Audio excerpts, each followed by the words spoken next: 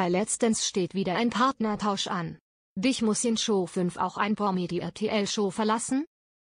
Im Dance Mutterland Amerika gibt es den Partnertausch beim Original Dancing with the Stars bereits seit dem Jahr 2014. In der 16. Staffel etablierte RTL das gefürchtet Bäumchen wechsel dich auch hierzulande.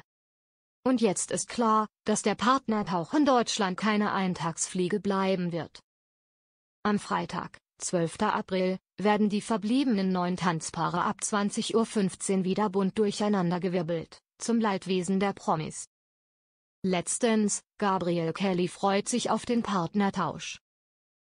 Lediglich Staffelfavorit Gabriel Kelly scheint sich wirklich auf den Partnerswitch zu freuen. Gegenüber RTL erklärte er, dass er Lust habe, mit Anastasia Sten anzutreten, weil diese so klein sei. Ich könnte sie toll durch die Luft schleudern, so der Musiker augenzwinkernd. Auch Ekaterina Leonova wäre für ihn spannend, weil sie ihn in hohen Schuhen auf jeden Fall überragen würde. Klar ist, dass die sechste Entscheidungsshow für die Promis schwer wird.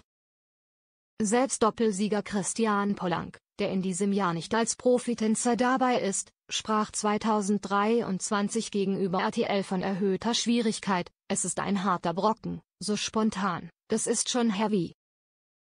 Wer ist raus beim Partnertausch? Doch wird am kommenden Freitag überhaupt jemand die Show verlassen müssen? Im vergangenen Jahr entschied sich RTL dazu, niemanden nach Hause zu schicken. Dafür mussten eine Woche später gleich zwei Paare gehen. Eine Aussage Mark Kellers könnte darauf hinweisen, dass es nach dem Testlauf im vergangenen Jahr diesmal ans Eingemachte gehen könnte.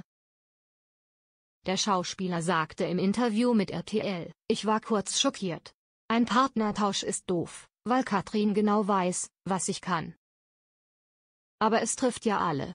Sollte er weiterkommen, freue er sich auf jeden Fall wieder auf Katrin Menzinger. Fest steht, dass auch in Show 6 bewertet wird. Das betonte Chefjuror Joachim Lambe nach einer Rückfrage Toni Bauers, natürlich. Meinst du, du kriegst Geld für nichts, oder was?